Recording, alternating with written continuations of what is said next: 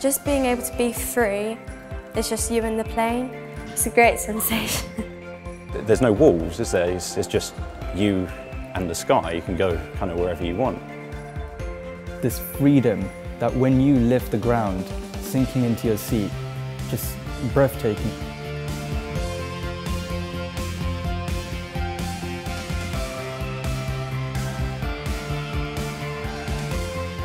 Hi, I'm Abby. I'm 16. I'm on the Soaring to Success scheme. It's just such an incredible scheme and it's a great opportunity. I'm Khaled.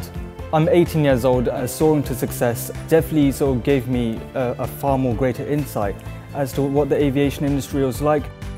My name's Elijah and I live at the YMCA and Soaring to Success uh, was a programme that the Air League had and they approached the YMCA and asked if they wanted to have some people come along and I'd, I'd agreed to go.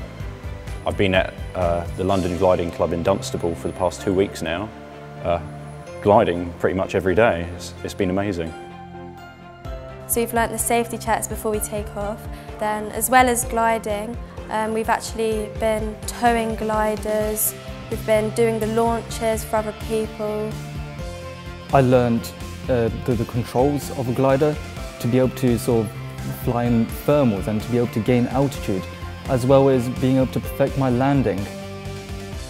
Hi, I'm Milan, I'm 20 and I've soloed for the first time in a glider. So being up there in the glider on your own was, it was shocking because you, you literally have your life in your own hands, but then it was like the excitement of like, you're actually going solo and there's no instructor behind you, so you, you want to have like the best landing possible. The Soaring to Success scheme has allowed me to build up my confidence completely. Being in a glider for the first time alone, absolutely incredible. As well as learning to fly, Soaring to Success has also given me the opportunity to join the team here as an aircraft technician. This scheme's definitely just confirmed like that's the sector I want to go into.